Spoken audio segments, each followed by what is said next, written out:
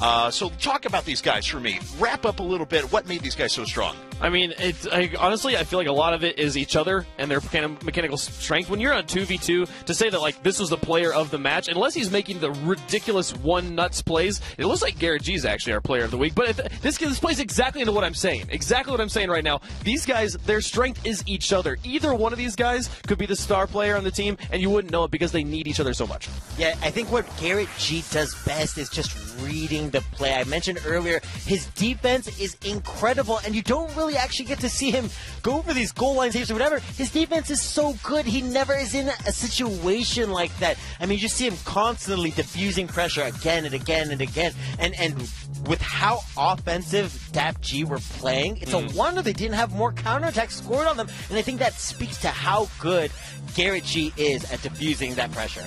Yeah, that's absolutely. No se puede hacer realidad. Parece que sí, Karim.